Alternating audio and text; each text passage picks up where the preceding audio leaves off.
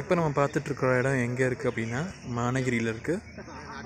மானகிரியில் கரெக்டாக சொல்லணும் அப்படின்னா இப்போ ஃபஸ்ட்டு போஸ்ட் மரத்துக்கு ரெண்டாவது போஸ்ட் மரம் இருக்குல்ல அது வந்துட்டு Managiri to Karaikudi main road இந்த பக்கம் பார்த்தோம்னா அந்த பில்டிங் தெரியுதுல்ல அது வந்துட்டு கல்லலுக்கு போகிற மெயின் ரோடு ரெண்டு மெயின் ரோடுக்கும் சென்டரில் இருக்குது மொத்தம் அஞ்சு சென்ட் பிளாட் இது. ஃபுல்லாக ஃபென்சிங் பண்ணியிருக்காங்க.